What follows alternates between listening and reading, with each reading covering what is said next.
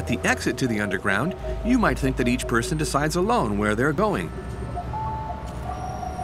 But here too, smart city planning subtly directs our choices to guide our movements.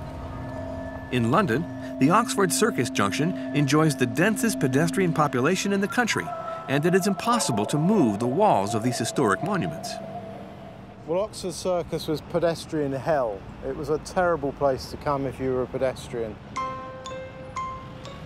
Large numbers of pedestrians come to Oxford Circus, 30 to 40,000 an hour, and we have about 19,000 passengers coming in and out of the tube station. Given this somewhat nightmarish situation, the City Council and local businesses had an idea to speed up the pace of pedestrians. But how to do that without slowing down the road traffic?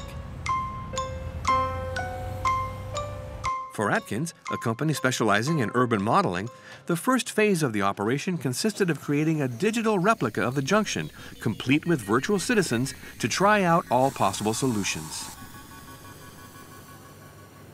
The first step really is to understand all of that movement that needs to happen at the junction um, by means of, of, surveying and observing um, how people are passing through the space.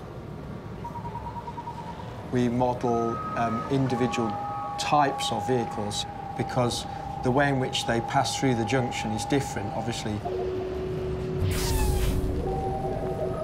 But modeling the movement of pedestrians is the most tricky part of the process. How to program 40,000 virtual people so their behavior corresponds to real passers-by in Oxford Circus.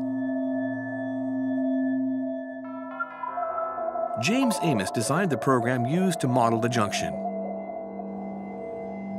After spending hundreds of hours observing pedestrians walking around, he seized upon three parameters that would enable him to recreate every crowd in the world.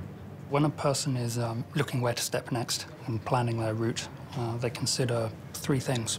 That uh, they've got a destination that they want to go to. Everybody has a preferred speed at which they'd like to walk. And people like to keep a distance around them, so everybody has a, a personal space that they like to keep around them.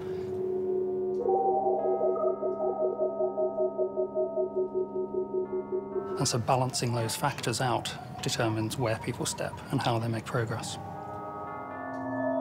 Then he had to personalize the avatars using these three parameters so that the proportion of tourists, casual workers, and local residents corresponded to those found at Oxford Circus.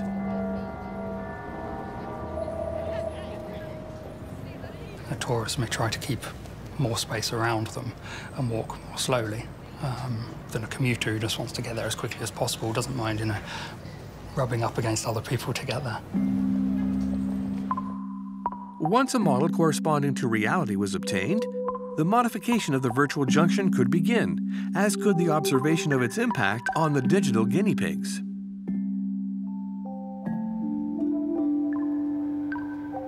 So it's about making small changes to the design to get the best out of Oxford Circus.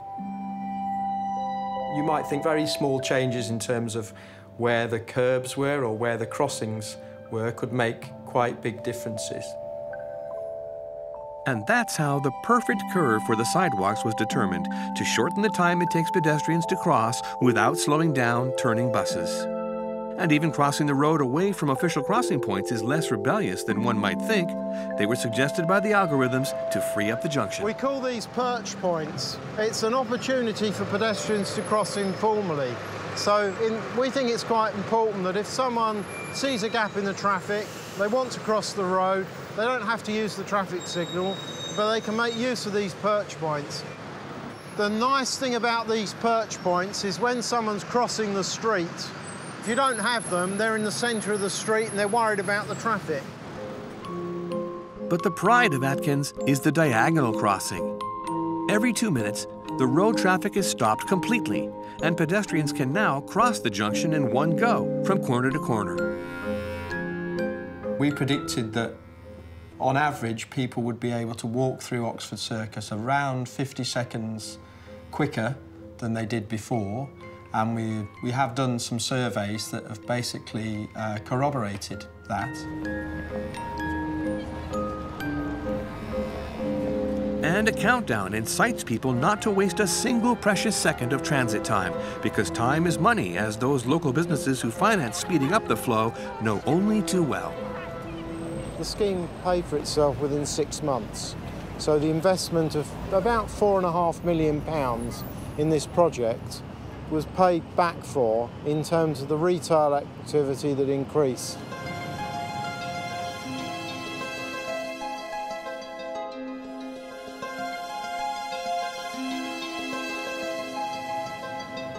I think that looking down from above, you know, a bird's eye view or a God's eye view on these complex adaptive patterns of live dynamic elements that are people moving through the city, I think that's a beautiful thing. I think it's, it's enticing in exactly the same way that watching any natural complex system is.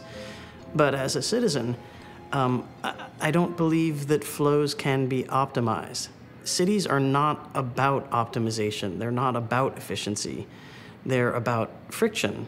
They're about mess and complication. And they're about rubbing up against the different I think that when you apply the engineering mindset to the terrain that is the contemporary city, you run the very real risk of engineering out of that system all of the things that generate meaning and vitality and what we understand as city magic.